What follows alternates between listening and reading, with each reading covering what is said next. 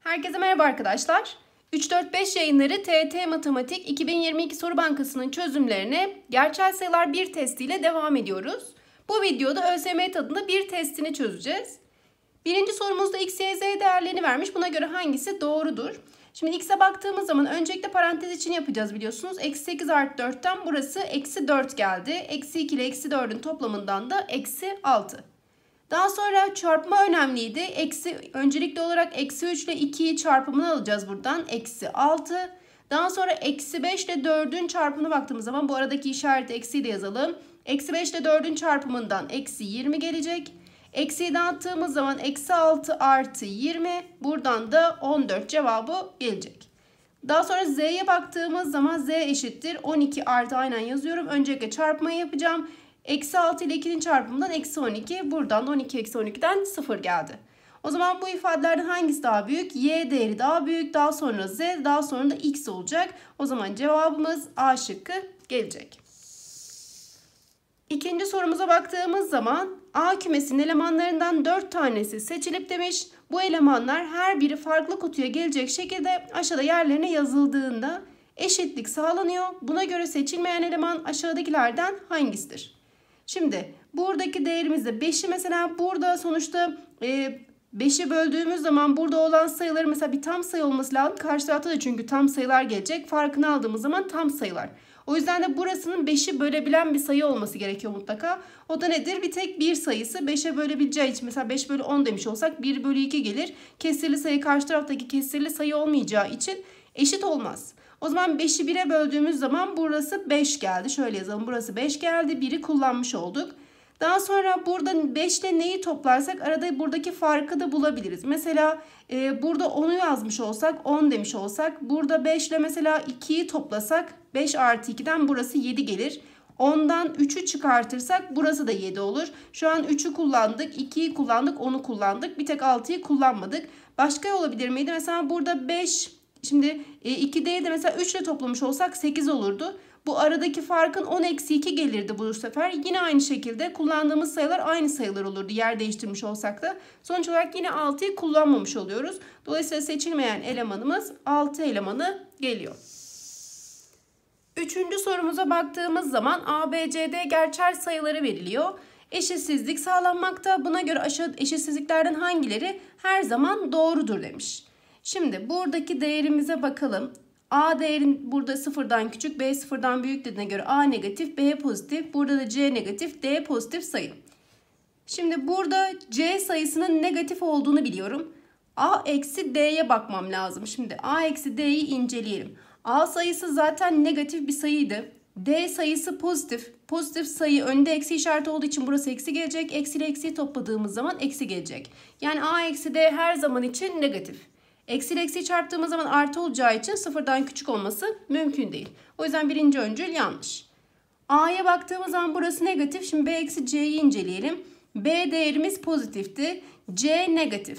Şimdi önde de eksi işareti olduğu için eksi eksiyi çarptığımız zaman artı geldi. Artı ile de artı topladığımız zaman artı oldu. O zaman buradaki değerimize baktığımız zaman B eksi C kesinlikle artı. Artı ile eksiyi çarptığımız zaman bu ifade kesinlikle sıfırdan küçük. O yüzden ikinci öncülümüz her zaman doğru. Üçüncüsüne bakalım. B'nin pozitif olduğunu biliyoruz. C eksi A'yı inceleyelim şimdi. C negatif gelecek. A'ya baktığımız zaman A da negatif. Şimdi negatif sayı ile negatif sayı çarptığımız zaman pozitif geldi. Negatif sayı ile pozitif sayı bunlar toplam durumunda şu an. Negatif ile pozitifi topladığımız zaman e, negatif de olabilir, pozitif de olabilir. Mesela eksi 2 ile 3'ü topladığımız zaman 1 gelir. Ama 2 ile eksi 3'ü topladığımız zaman eksi 1 gelir. Yani negatif bir sayı ile pozitif bir sayının değerleri ne olduğunu bilmeden sonucun negatif ya da pozitif olduğuna dair kesin bir şey söyleyemeyeceğimiz için üçüncüsü her zaman doğrudur diyemeyiz. O zaman tek doğru var. Her zaman için doğru olan tek var. O da yalnız 2 gelecek. Dördüncü sorumuza bakalım şimdi. A, B, C tam sayılar olmak üzere demiş. B artı C ve A çarpı C sayıları tek sayılardır. Şimdi buradaki şöyle söyleyelim. B artı C'nin tek olduğunu biliyorsak bunların mesela ikisi de tek olsaydı toplam çift olurdu. İkisi de çift olsaydı toplam yine çift olurdu. O zaman bunlardan biri tekse C çift olacak. Eğer B çift ise C bu sefer tek olacak. İki ihtimal gelebilir. A çarpı C'ye bakalım. A çarpı C'nin de tek olduğunu söylüyor. Şimdi bunlardan bir tanesinin bile çift olması cevabı çift yapar. O yüzden bunların ikisi de kesinlikle tek olmak zorunda. Tekle tekin çarpımı tektir çünkü her zaman için. O zaman biz burada C'nin tek olduğunu öğrendiğimize göre çünkü burada tek bir ihtimal var. C tek olduğuna göre o zaman bu ihtimali pardon buradaki ihtimali gönderdik. C'nin tek olduğunu tekrar yazalım. Tek burası çift. Burasını gönderdik. Tek bir durum geldi o zaman burada C tek olduğu için B'nin de burada çift olduğunu A'nın da tek olduğunu öğrenmiş olduk. Şöyle yazalım. A sayısı tek sayı, B sayısı çift, C ise tek sayı geldi. Buna göre hangileri tek sayıdır diye soruyor. Şimdi A artı C. A sayısının tek olduğunu söylemiştik. C'nin de tek olduğunu söyledik. Tekle teki topladığımız zaman çift gelir. Bizden teki istediği için birinci öncül yanlış.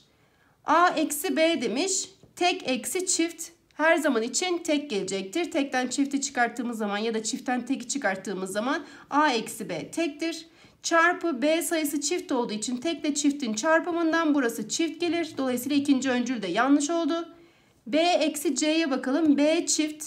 C tek verilmiş. O zaman çift eksi tek. Burası kesinlikle tek gelecek. Mesela 3'ten 2'yi çıkarttınız. Tektir her zaman. Daha sonra C'ye baktığımız zaman C de tek. Tekle tekin çarpımından kesinlikle tek geldi. Ve bizden de tek sayı istediği için tek doğrumuz var. O da 3. öncül olacak diyoruz. Beşinci sorumuz ile devam edelim. Aşağıdaki şekilde aşağıdan yukarıya doğru bir işlem sistematiği gösterilmiş. Buna göre aynı mantıkla hazırlanmış. İşlem sistematiğinde A çarpı B kaçtır diye soruyor. Şimdi buradaki e, mantığını bir çözmeye çalışalım öncelikle. Mesela 8 ile 5 toplamış 13 gelmiş. 1 ile 7'yi toplamış 8 gelmiş. 7 ile eksi 2 toplamış 5. Demek ki bunları her birini toplayıp yukarıya yazıyor. Şimdi buradaki değere bakalım o zaman. Mesela burada 1 ile bu sayıyı buradaki sayıyı toplayıp eksi 2 olduğuna göre burası kesinlikle eksi 3 olmalı. Daha sonra buradaki sayıyla 4'ü topladığı zaman eksi 3 gelebilmesi için burasının eksi 7 olmalı. Eksi 1 ile bu sayıyı topladığında eksi 7 olması için A'nın kesinlikle eksi 6 olması gerekiyor. Daha sonra buradaki sayıyla bunu topladığı zaman 4 geldiğine göre burası 5 olmuş. 4 ile buradaki sayı topladığında 1 gelebilmesi için burası eksi 3 gelmiş. 5 ile B'yi topladığında eksi 3 olabilmesi için B'nin de kesinlikle eksi 8 olması gerekiyor ki toplamları eksi 3 gelsin. Buna göre A ve B sayılarını bulduk. Eksi 6 çarpı eksi 8'den cevabımız 48 geldi. Altıncı soruda aşağıdaki kutuların içine şeklinde 4 işlem sembolleri yazılarak verilen eşitlikler sağlanıyor. Buna göre A ve B isimli kutuların içine yazılması gereken işaretler sırasıyla hangisinde doğrudur? Şimdi öncelikle burada parantez içine yapacağız. 4 ile mesela 2 çarpmış olsak burasına 8 gelecek. 8'den de 5 çıkartırsak 3 geliyor. Daha sonra burada 12 ile mesela 6 ile arasında ilişki kuracağız. Buradan 4 gelmesi için 12 bölü 3 desek burası 4 olacak. 6 ile de 4'ü toplarsak 10 geliyor. O zaman yaptığımız işlemler A'da çarpma yapıyoruz. B'de bölme yapıyoruz. Dolayısıyla cevabımız D şıkkı geliyor. Yedinci sorumuza bakalım şimdi. A, B, C gerçel sayıları için demiş eşitsizlikleri verilmiş ve hangisi kesinlikle pozitiftir diye soruyor. Şimdi öncelikle A sayısı sıfırdan büyük. B çarpı A'nın da sıfırdan küçük olduğunu biliyoruz. Daha sonra burada B de C'den büyükmüş. Şimdi A pozitif ise şöyle gösterelim. B çarpı A'nın sıfırdan küçük olduğunu yani negatif olduğunu biliyoruz. A pozitif olduğuna göre B de kesinlikle negatif. B negatif ve B sayısı C'den büyük olduğuna göre C de negatif olacak. Daha da küçük bir sayı. Buna göre hangisi kesinlikle pozitiftir diyor. Şimdi A sayısının pozitif olduğunu, C sayısının negatif olduğunu biliyoruz. Çarptığımız zaman negatif gelir. A şıkkı olmaz. A pozitif, B negatif, C negatif çarptığımız zaman burası kesinlikle pozitif gelecek. Buradaki değerimiz mesela e, sıfır olma ihtimali var mı onu düşünelim. B negatif demiştik. Negatiften daha küçük sayı sıfır olamayacağı için sıfırlık durumu yok burada. O zaman kesinlikle cevabımız B şıkkı olacak. Sekizinci sorumuza bakalım şimdi. Aşağıda, aşağıda çizilen kenarlarla kapalı bir bölge oluşturan tüm dış bükey dikdörtgenlerin köşelerindeki altıgen kutucukların içine 1, 2, 3, 4 rakamları her bir dörtgenin köşelerinde birer defa kullanılacak şekilde yerleştirilecektir. Buna göre A artı B değerlerinden hangileri olabilir diye soruyor.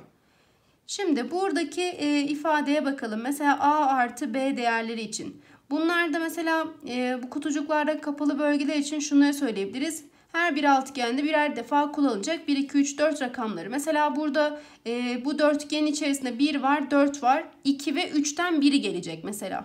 Şöyle diyelim buraya mesela 2 geldiğini burasının 3 olduğunu düşünelim.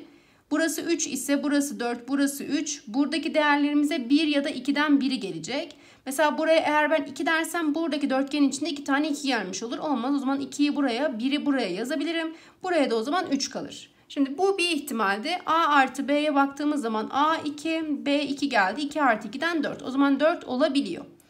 Daha sonra ne olabilirdi? Mesela burada bunları yerleştireceğim. 2 ve 3'ü şöyle silelim bunları. 2 ve 3'ü mesela 2'yi buraya değil de buraya yazacağım. 3 burada. 2 burada olmuş olsaydı dörtgeni tamamladık. Daha sonra 4 var, 2 var. Şimdi geriye 1 ve 3 kaldı. Eğer 3'ü buraya yazarsam bu dörtgenin içinde 2 tane 3 olmuş olur. O zaman burası yine 1, burası da 3 gelecek. Burada yine 1, 2, 3, 4 sağlandı. Burada da aynı şekilde 1, buraya da 2 kaldı o zaman 1, 2, 3, 4 sağlandı. Şu anda A'da 3 yazıyor, B'de ise 3 yazıyor. Dolayısıyla toplamları 6 geldi. O zaman 6 da olabiliyor, 5 olamadı. Başka ihtimal yok çünkü. O zaman 4 ve 6 olabileceği için cevabımız B şıkkı geldi. Ve böylece testimizi tamamladık arkadaşlar.